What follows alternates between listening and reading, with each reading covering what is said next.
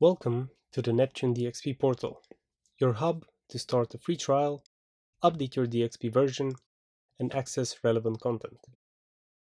This is a guided tour of features and functionalities you can find within the portal. Let's start from the top. Under the Developer Tools, you can find our latest development tool, the App Builder.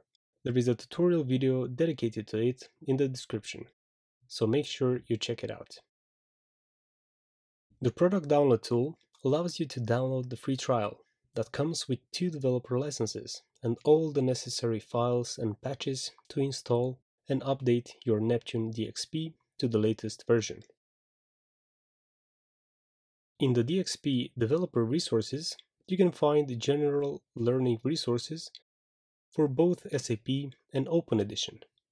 The Mobile Build Service is a consulting service where Neptune will build your hybrid mobile applications for you.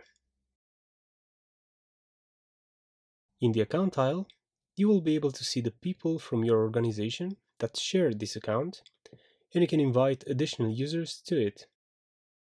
If you are an administrator of your account, under User and Account, you can see all of your quotations, sales orders, contracts, and invoices with Neptune software.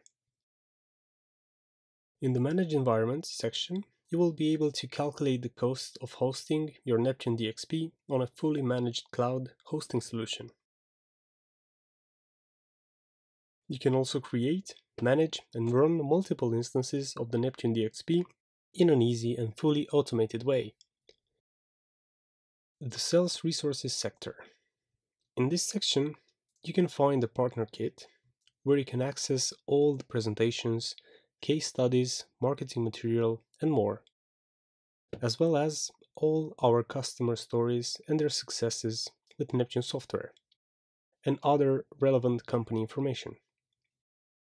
Read case studies on all major industry verticals, explore customer success fact sheets, and see what they have done with the software, and explore our latest white papers. You can download and use all relevant marketing material. The Neptune DXP portal is your go-to hub on Neptune software solutions, use cases, and references. And they will be updated as soon as new content has been published.